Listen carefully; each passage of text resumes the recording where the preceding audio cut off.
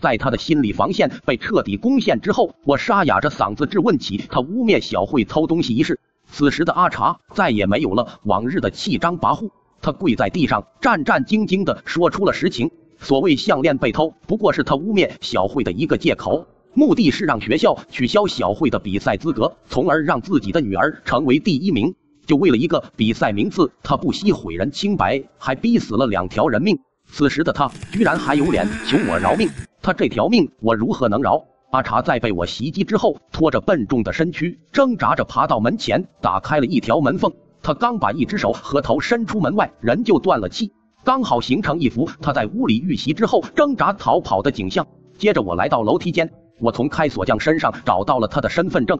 原来他叫也叫小仙，而且年龄还跟我相仿，我俩发型也比较相似，只不过他的脸上有道不起眼的伤疤，我没有。之后我脱掉了开锁匠身上的工作服，然后跟我身上的衣服对调。为了拖延他被警察确认身份的时间，我割断了他的头颅，用塑料口袋装好，藏在了某个警察不容易找到的地方。我还把阿茶的手机放在了他的手中。从那一刻起，我把自己变成了开锁匠小仙，而真正的开锁匠小仙则被我变成了楼梯间里的无头女尸。接着，我以小仙的身份报了警。为了让整个过程听起来更合理，我向警方编造了后面的故事，并配合警方演了一场猫捉老鼠的游戏。我之所以这样做，是因为我需要这样一个既合理又能让警方无法忽略的身份来执行我之后的计划。我知道假冒身份肯定会被识破，只是时间长短的问题。因为我的目的就是要让身份被警方识破，案件越离奇，我的嫌疑越大，就越能制造新闻话题，我也越能引起警方的重视，从而在被询问时能尽可能掌握话语权。在报警的同时，我还把我白天拍到的有关开锁匠小仙在住户门锁上做手脚的视频发到了只因小区的业主群里以及一些视频平台。我做这么多理由如下：第一，我首先要向世人揭露这样一个无良开锁匠的存在；第二，我要用这些视频让以开锁匠身份示人的我引起社会公愤，变成警方的怀疑目标，从而让我能够参与到整个案件中来；第三，如果这些视频再结合只因小区发生命案的消息，能够成为热点新闻，广泛的社会关注度势必会给警方施压，那么案情的透明度就有了一定的保证。第四，我故意将命案现场选在阿茶的家里，无论是警方还是阿茶的家属，都势必会通过屋内的监控来了解案件真相，而我正好需要警方提供技术去破解监控。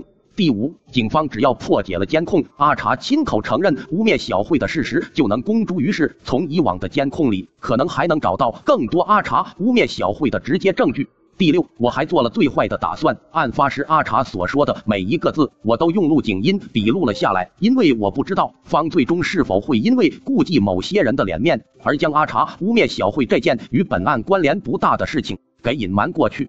我姐在嘎之前一直未能给小慧讨回清白，只有我知道她活得有多苦。小慧每天都要顶着小偷这顶帽子遭人指点，受尽白眼，只有我知道她活得有多累。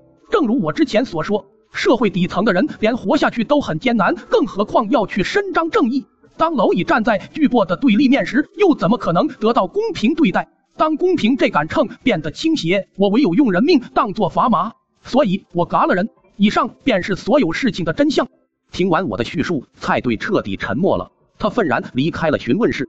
至于案情结果会朝哪个方向发展，一切就交给询问室外面的那些人吧。案子在被审核无误的两天后，基于本案的社会关注度，警方兑现了当初对我的承诺。案情通报中，他们向社会公布了本案的详细内容，包括我的作案动机，包括恢复小慧的清白。后来我才知道，小慧能这么快恢复清白，其中也有蔡队的帮忙，是蔡队督促他技术部门的同事，尽最大可能的恢复了被阿茶生前删除的部分视频。那些视频里有阿茶污蔑小慧的直接证据，也是他向上级据理力争，才使得小慧的事能尽快提上日程。蔡队虽然菜，但我一直都知道他是个好人。从案子移交到检察院，再到法院开庭，需要三个月左右。